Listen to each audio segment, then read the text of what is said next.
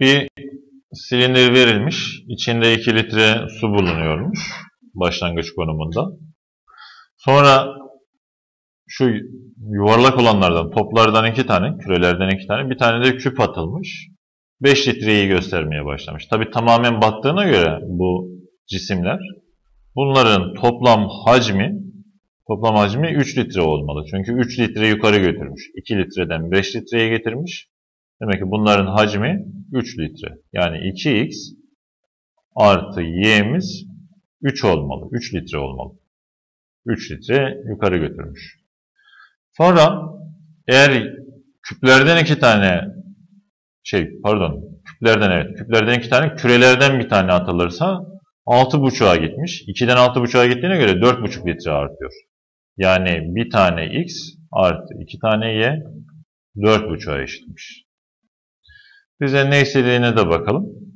Buna göre silindirin içine bir küp atılırsa, bunun için bir tane küp atılırsa, ki küp y olacak, y'yi hesaplamalıyız.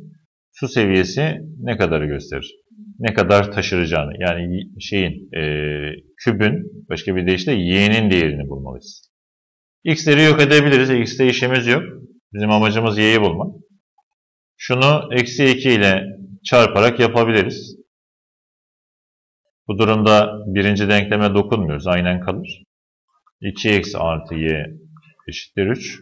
Eksi 2 ile çarpınca eksi 2x eksi 4y eşittir. 4,5 2 katı 9 yapar. Eksi 9. Eksi ile çarptığımız Topluyorum. Buradan x'ler gidiyor.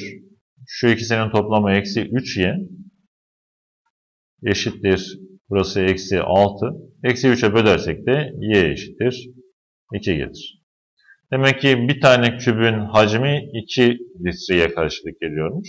Başlangıçta buydu. Bunun için bir tane küp atarsak 2 litre daha artıracak. Ama başlangıçta zaten 2 litreyi gösteriyordu. 2 litrede bizim kübümüz toplam 4 litre olur. Yani 4 litreyi gösterir artık. İbremiz.